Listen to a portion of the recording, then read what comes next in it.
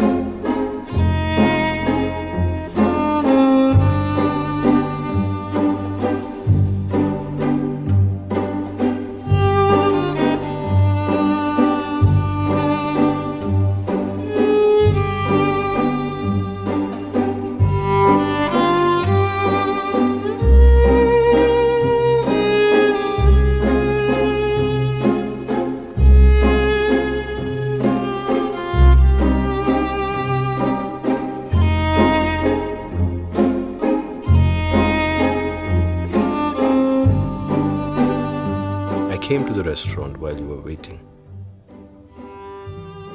There you were, fidgeting with your purse, drinking all that water.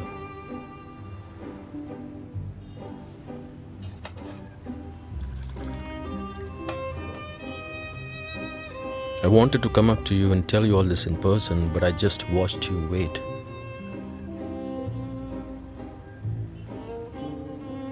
You look beautiful.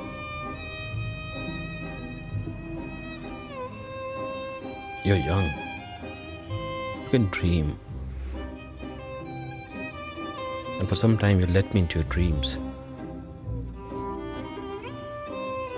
And I want to thank you for that.